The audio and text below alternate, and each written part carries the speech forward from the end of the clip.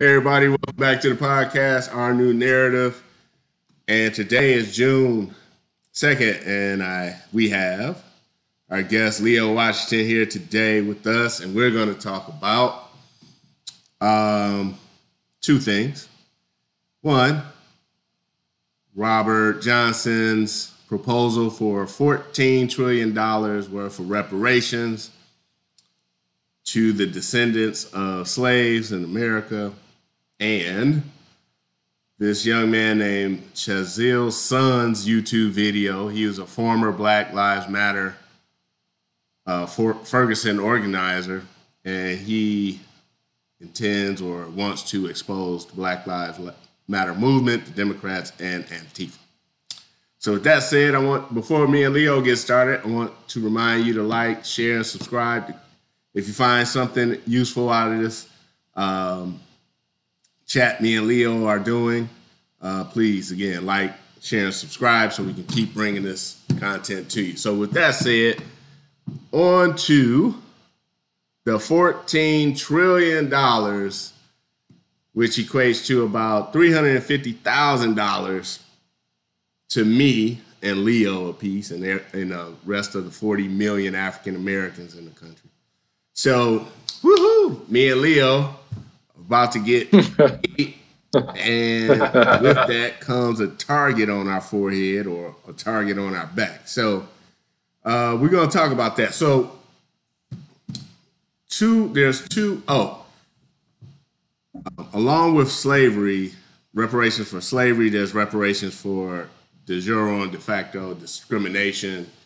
Um, talking about the Jim Crow laws and you know housing discrimination and stuff like that. So with that said, there's always two uh, issues to the reparate to me, two issues to the reparation question. And one is a legal question, the other is a moral question. And when you go, if you're talking about legal,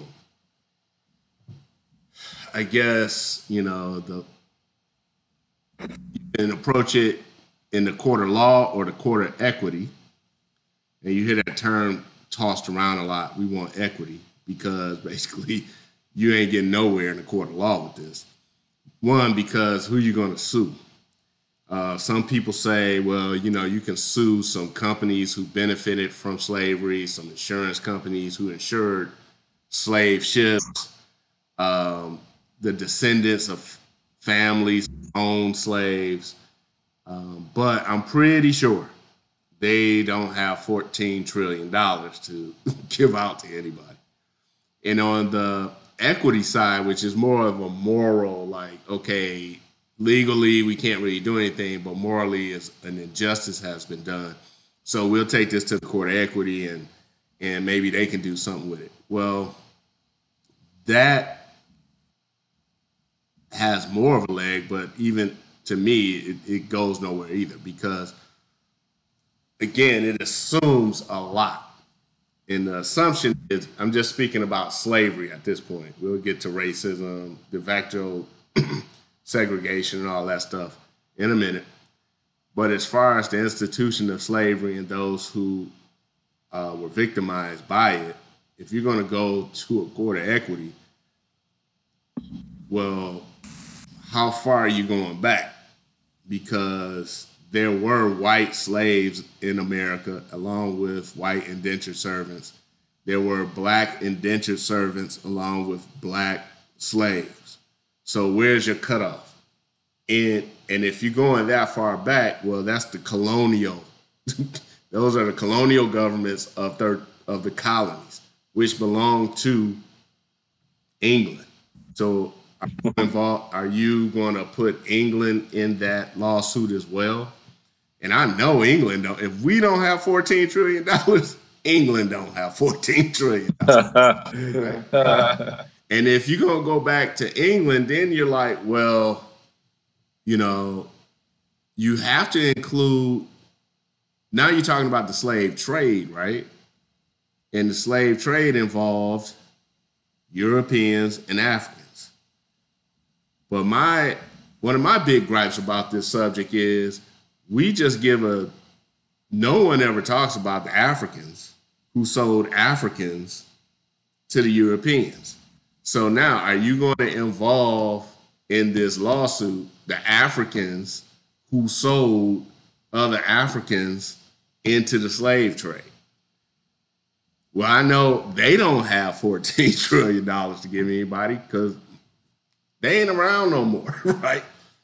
And if descendants of those who sold their own people into slavery are around, they don't have $14 trillion. And, and if you're talking about, well, you know, the people who are victimized by the institution of slavery, well, how come you exclude white Christian slaves? It was more, it was like millions of white Christian slaves. Although this happened before America was founded, but so were the 13 colonies. That, that wasn't America. 1619 to 1776, that was, we were an English colony. So, how far back do you go and who do you include? And why are you excluding all victims of slavery except for those of African descent who happen to live in America? And do the descendants of black people who owned slaves fought in the Confederate War, bought Confederate bonds to support the war, do their children or their descendants get reparations as well? I think it's a non issue, a non starter. It's just a political point to divide. That's it's just a political tactic, um, another way to usher in some type of social pro- program. But I digress. And I'm gonna let Lee, before I just go out on a rant and tangent. I'm gonna ask Leo what he thinks about the legal side and the moral side of reparations. Well, um, I guess on the comedic side of Chris Rock asking that question when he had that cable show uh, some many years before where he was asking random people on the street who happened to be our white American brethren A, B, and C type of questions about what they thought about reparations. And C was pretty much kiss my ass. And they all picked kiss my ass in true American fashion. So they they basically said that's going to be a non-starter because it to them just right off the cuff made no sense to them them at all. Um, and you have laid out at least the A, B, and some other A, B, and C points about well, structurally, how would you even structure that kind of argument to be a legal argument for anything? So it's just kind of like you can't really go forward on, on that simply because the legal basis wouldn't even be there. And I don't even think a group of attorneys who, you know, regardless of what ethnicity they were, would get together and try and champion that present it what, to the court, to a court somewhere. Well, as a graduate of law school, I can guarantee you there'll be some attorney trying to do that. Somebody for the money. Hey, a fourteen trillion dollar payout. Yeah, I, fourteen trillion dollars. Yeah, forty percent of fourteen trillion. Yeah, okay, right. Nah, but yeah, man it's a, it's a non-starter. And again, like it, not to say or not to dismiss the the horrors of slavery or the injustice of slavery, but um, I think this is another just political rule, so to speak. Um, and another thing, like like I said before, before we start recording this, okay, me and Leo get three hundred fifty thousand dollars, a cash check, right? But I'm assuming it won't be a cash check, but let's just say 40 million people get who identify as African American get a $350,000 check. You just put 40 million people in what's considered today the 1%. And if I get that check on Monday I'm buying all the gold and silver I possibly can because on Wednesday, with all that hyperinflation, an apple is going to cost you you know, fifteen hundred dollars or a thousand. Right. Immediately, fifteen hundred dollars. So you gonna destroy the savings of all white Americans who saved, if anybody is saving nowadays, and black Americans who say, because you're gonna basically destroy the value of our currency by doing that. Now that's a discussion for another day, but just take my word for it. If you're gonna print up 14 trillion dollars in addition to what we just print up, like four, three or four trillion dollars because of this Yeah. Corona thing. You're talking about Zimbabwe, uh, Weimar Republic, where you know people just taking wheelbarrows full of money and leaving them outside, and coming out to find out somebody done stole the wheelbarrow left all the money. The wheelbarrow's worth more than the money. Yeah. So it just, I mean, conversation. Well, just the fact that you got a prominent man like Robert Johnson talking about something which I consider idiotic, uh, and pe- he's on CNBC and they're taking him seriously enough to allow him to present it, goes to show you how much we don't know about slavery. And me and Leo talk about this all the time. And it's my belief that this is not coincidental that you know right now we're for example right now we're you got covid-19 going on you got riots going on where there was protests that you know for some reason turned to riots when the sun go down so the, the protesters turn into vampires i don't know uh, but you know, for some reason they everybody got masks on, right? You might as well start protesting during the day, but no. Uh, I mean, start rioting during the day because everybody. At night, So you know they're illegitimate if they gonna wait till the sun go down, run around the corner, put on a black uniform with gas masks and hats, and start you know robbing and stealing. Basically, this is that has nothing to do with racism. That has everything to do with anti-capitalist, um, trying to you know just destroy us from within like a bunch of termites. So, with that said, the reason they're able to do that and the reason we're all like being bamboozled right now is because instead of being educated at school about our history, when I say our history, I mean all American history, um, we've just been indoctrinated to believe this narrative of victimization. People looking like me and Leo are just born victims, and people who don't look like us are born victimizers, and nothing we can do. Uh, that's is, and because of that, let's thank Andre for being black by giving him, you know, 350. three hundred and fifty K. And you're not, you're saying that rhetorically. You're not saying that that should be Right, what's done at all. right, at all. Now here we go with the history lesson, folks. I wish, you know, like your boy uh, Eddie Murphy on Saturday Night Live. I really wish I had a, a stand here and I could write out the word and I could say something like today's word, boys and girls. Mr. Robinson's neighborhood now. That was the best ever, right? Yeah, right. Hey, boys and girls, today's word is reparation. You know, right? now, uh, let's talk about the slave trade, right? Because that's near and dear to all of us. And honestly, a lot of these people, like I was saying earlier, man, when I saw the protest marchers in uh, Chicago yesterday on the news, I was like, man, I ain't seen that many people marching in the streets of Chicago or just in the streets of Chicago since the Bulls won with Michael Jordan. And this is during a pandemic where everybody, you know, with Corona. So it's near and dear to a lot of people's hearts what happened to Mr. Floyd, uh, George Floyd. Um, and a lot of those people in that crowd were white Americans along with their black brothers and sisters and Hispanic and Asian and others, right? So it's it's important to me that we all understand our real history and not this indoctrination we've been getting for the past past past few generations.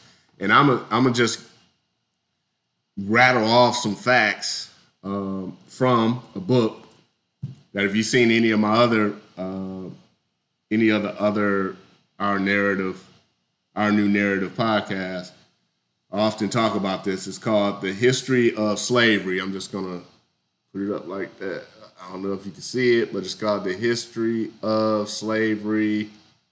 Nah, you can't see it. I don't know. Written by Written by Mr. William Blake or Blake W O. so this is back when in they the used all the initials. Yeah, the initial. So just look it up. You can Google it. It's free. It was copied. It was. It came out published in um, 1859. 1859. So this book was written before the Civil War Wow. and is full of um, congressional congressional records, congressional hearings. Uh, it goes back to the slave slavery in um, Rome, Athens, Sparta, like all the way up through. Uh, it talks about white Christian slavery. Talks about um, you know slavery in the colonies and what and and and the European slave trade with Africa, which is to what we're talking about today. So today, boys and girls, we're talking about European slave trade with Africa, which, which started with a guy named Antonio Gonzalez from uh, Portugal. Yeah. So this 13 I don't want to get my dates right wrong here, but it was early. It's like 14. I wrote it down. Ah, I used to, the gray hairs aren't for nothing, man. I'm, Listen, to you. it's uh, you ain't the only one with them. it was like 1430, I think. Um, maybe if I can't find it. Oh, here it is. Uh, Jeez. Um. Anyway, fourteen. It's around fourteen thirty or something like that. Um, Antonio Gonzalez went to Guinea and sailed up to Guinea, and he was a trader for Portugal. And he got a whole bunch of cargo. Along with that cargo, he got two African slaves, a boy and a girl, and he sailed to Spain. And guess who he sold the slaves to? Leo. Drum roll. The Queen. No, he sold them to a Moors family, M O O R S. Okay. So the first documented transaction of European slave trade, what kicked it off was these were the following actors. Two Africans who got sold to a Portuguese person by other Africans. That Portuguese sailor, Antonio Gonzalez, went to Spain and sold those people to Moors, right? And from there is where you get the slave trade. And it was a trickle, just a trickle, until and it picked up steam when Christopher Columbus uh, discovered, or not discovered, but ran up on uh, Hispaniola, Hispaniola, which is Hispaniola. yeah, Hispaniola, which is modern day Haiti and the Dominican Republic. And even then, uh, the slave trade didn't really kick off because you're talking Christopher Columbus, 1492. Uh, the Atlantic slave trade didn't pick up full steam for a while. I mean, you know, and I, I don't want to get too deep into that.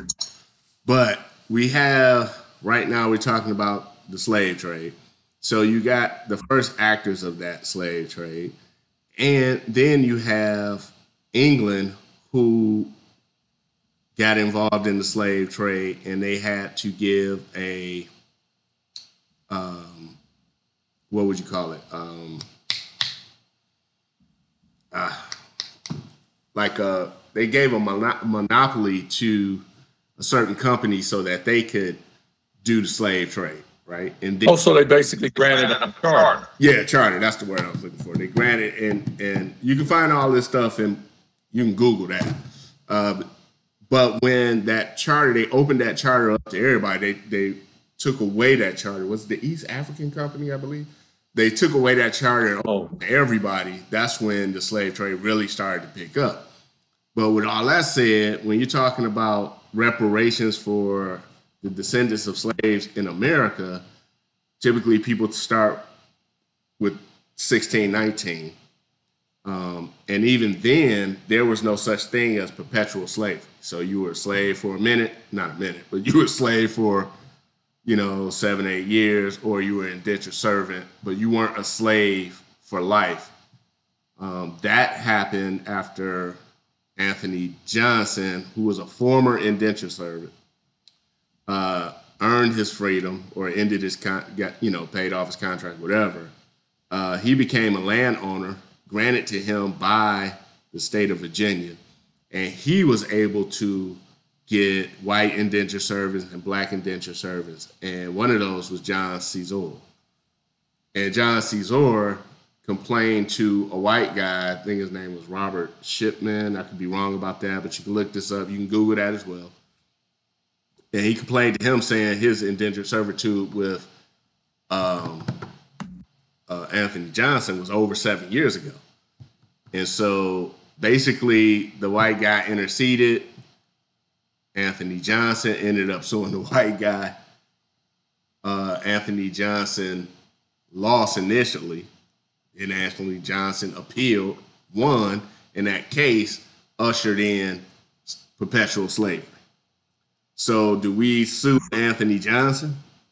I mean, do we consider him? Most people don't even know him. So, that's another example to me of how disingenuous this argument is.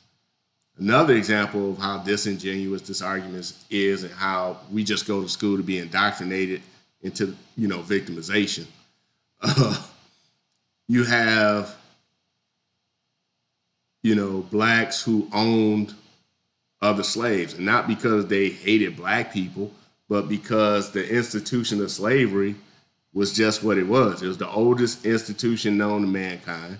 It's not like these people were driving up to McDonald's drive-through and kidnapping people and throwing them in the uh, cotton fields. Like if you uh, were in Africa and you weren't a chief, uh, someone of importance who owned, you know, a significant, you know, I would say anywhere in the world, especially back in um, like 13, 14, 1500s, right? What were your labor options, right? I mean, in America, Hmm. we our image of the institution of slavery, which dates back like 9,000 years before any European ever stepped foot on American soil. Our only real image of that is, you know, what Kunta Kinte went through during Roots.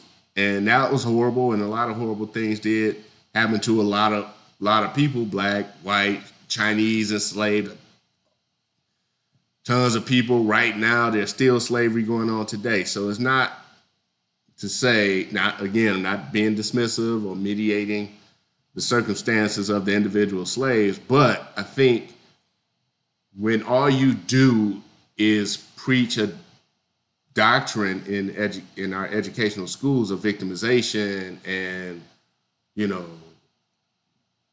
you owe us this type of mentality. What's that called, Leo? Like uh, entitlement, right? When you Yeah. entitlement and, vic- and victim and victimization, that allows you to come up with uh, a proposal for fourteen trillion dollars worth of reparations, and people take it seriously, or at least consider From a billionaire mind. from a Uh, billionaire. Yeah. So again, this, in my opinion, and I'll talk about this in other videos. Uh, this is a political ploy. It is connected with what's going on with these riots. Uh, that's basically being insinuated by the group my man Chaziel Sunz was talking about, a former Black Lives Matter for Ferguson And I didn't get the other group name. and That he- the Black RG Lives Matter are RG. the, the, the ones I know. He, he, he was saying another name. It's RGB or Yeah, yeah, Some of them. right. Now I'm not too familiar with that one. And I didn't have a chance to look it up either, but I was like, he kept saying this other acronym, and I was like, well, I've never heard of that. Right. So, but basically, you got to find out what group that is he's talking about. But right. Basically, the gist of what he was talking about is that he believes the Black Lives Matter movement has been infiltrated, inf- infiltrated and taken over, and he, you know, comments on who funds this organization, uh, basically left leaning people and organizers and people and organizations who don't really care about the African American community. Um, and he's telling those who will listen to basically think about.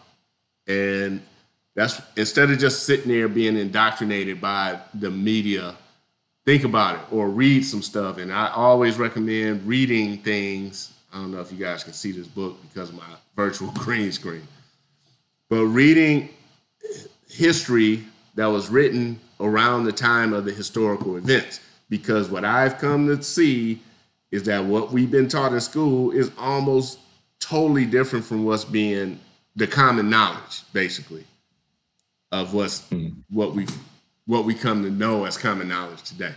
So if they wrote it around the historical period, it's a lot truer to the facts than it is the further out you get from it. Yeah, because then you're just interpreting something that happened, you know, 200 years ago or whatever. Like today, my perfect example, one of the perfect examples is, and I don't want to get too far away from this Black Lives Matter and Antifa thing, but one of my favorite examples is our how we think about Thomas Jefferson, right? Well, he was a founding father, but he was a racist asshole, right? And I'm like, well, it's more complex than that because although he did own slaves, and he had a relationship with one of his slaves, which everybody just assumed he raped her enough time to have how many kids? Like, like seven or eight, seven or eight kids, man. So, and we weren't there. So I'm just, I'll give a man a benefit of the doubt. Why? Because I've read some of his personal writings where he is basically calling black people in America his brethren, his brethren, citizens. Uh, the original draft of the Declaration of Independence, which every American should go out there and read, and you can find that on Google as well, where it, uh, you know, that that phrase, "all men are created equal," refers to not just those trying to get away from uh, England, but to blacks as well. And he he basically goes off on the the monarchy of England for trying to every time the colonists tried to impose either duties so high that it would basically eliminate slavery in the colonies or get rid of slavery in the colonies, the monarchy of England will put a squash to that. So here we are 200, 300 years later, and all we think about Jefferson is he he was just a slave owning asshole who raped his who raped his woman, woman enough time to have seven kids. so just like my man said, think think it through a little bit. I know based on the information you have and what you've been taught in indoctrination school, that may be true. But if you go and read it for yourself, you will find that you've been lied to and I've been lied to as well. But the truth is out there, like they said. Mulder said, the truth is out there, right? From uh, X Files uh, reference thrown in. yeah, the truth is out there. And you have to think of this too manumissions, the freeing of slaves. So if you freed slaves, one of the arguments against freeing slaves wasn't that we hate all black people. For those who wanted to free slaves but didn't free slaves, one of the main obstacles to freeing slaves was the fact that you couldn't free slaves unless you got like permissions from a governor at a certain point. Now, slavery in America goes like from 1600s through 1850. So things changed a lot and you had different colonies with different laws. So this isn't a blanket statement. But to free a slave wasn't just like, all right, peace, Woodrow, you know, go ahead, dude, you're free to go. No, because look, they had no money, no property, and if they were free, this the colony will have to take care of a lot of them. So they will be instead of being the responsibility to house and feed, instead of it being the responsibility of a private citizen, will become the private the responsibility of the community. And a lot of people didn't want that. And that was a that was an argument for a lot of the northern states not wanting an influx of of slaves into their communities because you know you just got a bunch of people with no skills, no way to earn a living, uh, no nothing. You know, so what did it? They they were like, we don't want that, and that's under kind of almost like a reference. Yeah, yeah, exactly. So, but we're not taught that. We're taught that the people, even the white people in the North, they just hated all black people. And it's just more complex than that. And I think it does all of America dis- a disservice. And it allows, uh, once again, stuff like a $14 trillion reparation proposal to be taken halfway, well, seriously enough to be on CB- CNBC, right? And Again, because it keeps cropping up every decade resurface. Yeah. And it it'll never happen. One, because America doesn't have any money, not because we're broke, but America, the U.S. government doesn't have money. You know what I mean? Like the United States doesn't make cars or gym shoes or TVs. No, the, United States don't make money. The money comes from the Federal Reserve Bank, which needs which we borrowed, the United States borrowed, and me and Leo pay back as taxpayers. So on to my man who's kind of uh, who wants to expose Black Lives Matter movement and Antifa. He's basically saying that you know they don't they're not really for the, the cause he was signing up for, which was uh, perceived, um, you know, problems with racial discrimination in America. And that's another uh, video we'll do. But here you got a young man in dreads. It looks like he's smoking a blunt to me. So I don't know. I don't know if I know he's chilling on the porch. he chilling on the porch with the with the wife beat around, speaking the truth, and maybe he'll uh, appeal to a certain audience. Because when I watched the video yesterday, bro, at like 8 p.m. Pacific Standard Time, he had 4,000 views. I'm looking at this thing now, and I'll refresh it. And this is less than 24 hours later. He got like drum roll. She got like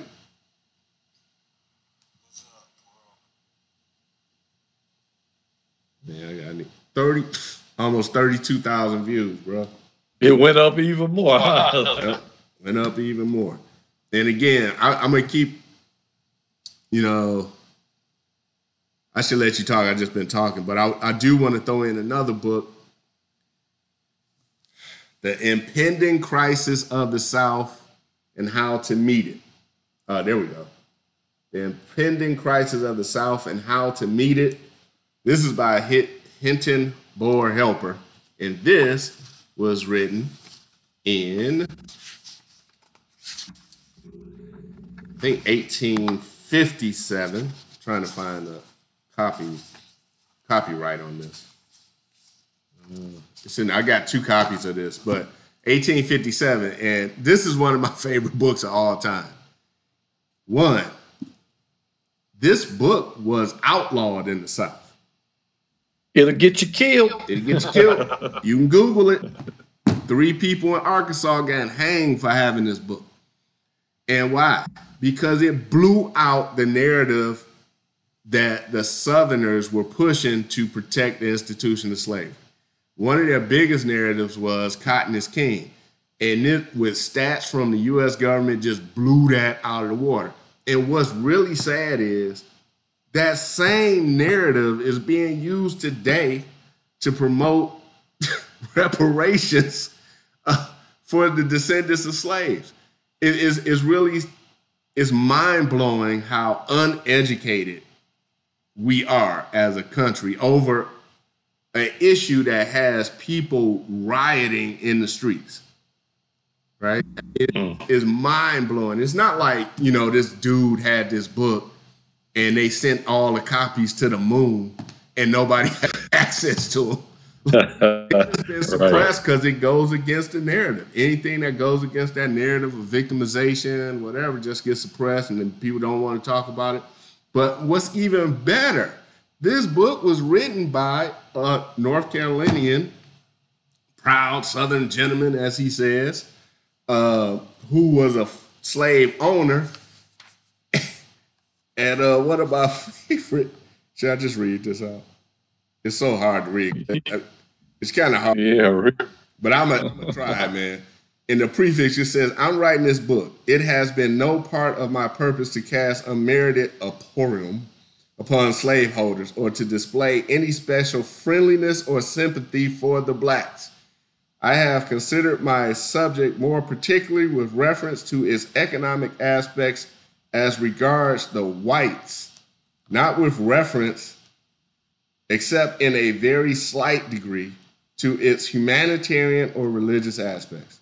To the latter side of the equation, Northern writers have already done full and timely justice, and I'm assuming he's he's talking about uh, Uncle Tom's Cabin at this point, Harriet Beecher Stowe. Uh, the genius of the North has also most ab- ably and eloquently discussed the subject in the form of novels. Yankee Wives have written the most popular anti slavery literature of the day. Against this, I have nothing to say. It is all well enough for women to give fictions of slavery. Men should give the facts. So, wow. I mean, statistics, I mean, everything, man. Like, that would end it right here. Just read this book, and you'll just be like, okay, well, I don't know. What'd you say earlier, uh, Leo? A show about nothing? Like it'd be yeah. Seinfeld part two. Like ain't nothing to talk about, man. Like just one statistic on here. Like the the city of New York in 1850, I believe it is. So this is like 10 years before 10, 11 years before the Civil War. Civil War, yeah. Everybody heated about slavery. And this is around the time where Cotton is King, Cotton is King was coming around. There's statistics from, you know, you want to use U.S. statistics as a credible source, I don't know. what else you gonna do? Right? Showed that the city of New York was worth more than the whole state of North Carolina, including the slaves, which made up half of the North Carolina population. Like so, something economically ain't right. It ain't right, bro. And in this book, you have the original, um, the original Declaration of Independence, and you see, I mean, everything they use, like the three fifths thing argument that oh, black folks were thought of as three fifths human, blows it out of the water man, if it wasn't for that three fifths human thing, we probably still be in chains, man. Because wow. to curb the power of the Southerners, right? You curb the power of the Southerners. They had to, you know, to get this union together to fight against England. You had to come together as a union. The only way they could do that was to say, because the the Southerners wanted all their slaves to count as one person. But one of the best quote, one of the best things I ever read was out of this book was when the northerner was like, "All right, Dan, well, since you counting all your people you claim to be property, right? You gonna claim all them? We gonna start claiming our chairs." Property. I remember that one. the desk. the desk, right? So they compromised, and thank God, at least for that, right? Um, so that helped that helped the abolitionist movement uh, that eventually ended up uh, getting, you know, leading to a civil war that ended up uh, ended slavery in America. So again, I think when anytime you hear about reparations, don't let your emotions get away from you. I just gave you two books that are free. Now they're dense. I'll give you that. But if it's that important to you, man, if you out there protesting for racial injustices, you need to know what you protesting about. You need to really know, not what some actor told you about or, you know, some news pundit whose producer is whispering in his ear what to say or what telling her what to say. You can get the truth from the source and it's out there. And like my man Leo always say, get mad in the right direction. That's right. If you're gonna be mad, get mad in the right direction. Yeah. But Chaziel is trying to talk about that, right? Yeah. I mean, he's saying it, not even trying to talk about it. He going right at it. Yeah. 15 he's- minutes he was on it. Yeah, I highly Right. recommend. I mean, you know, you know, me and you've been talking about this for a long time, but he's he's he was actually in the organization and he knows from firsthand knowledge. Me and you are seeing it from the outside looking in, and I've been on this, you know, like this. It just doesn't make sense, man. Like people have known. I grew up in Detroit with riot. I I, I missed the '68 riots. But I was around for the Malice Green. Detroit. You can look that up. The Malice Green riots. I don't know if it was a riot, but a skirmish. Then you had the LA riots. Then you had the Ferguson riots and all this stuff, man. And, and it's just us destroying our communities. And now it's being exposed a bit more that you have organizations like Antifa who are basically inciting uh, riotous behavior, um, you know, flame, fanning the flames of black people who perceive social injustice so that they can get in and destroy the country from within. I mean, me and Leo, we are just, me and you were just talking about this a little earlier. You know, isn't this, isn't this coincidental that we have a coronavirus that shuts the country down and 40 million people are unemployed and everybody gets a stimulus check. Everybody's getting stimulated to stay home. Then everybody's unemployed. Then you get this unfortunate killing of this black man. Then everybody leaves the house, even though we're on quarantine. You got people with babies marching in the streets along with Yeah, I saw that. Oh, who are quarantined. And, you know, so you know what that means. Next week or two weeks, the corona statistics going to spike up. oh, Everybody going to have to be shut down again. Um, and then what? More unemployment, more businesses closing. The businesses who opened last week, the small mom and pops in a lot of these, you know, urban centers, they'll never open up again because they were barely hanging on. And now they don't even have any merchandise. They can't even do a going out of business sale. They don't have no because somebody done stole their business. they done stole.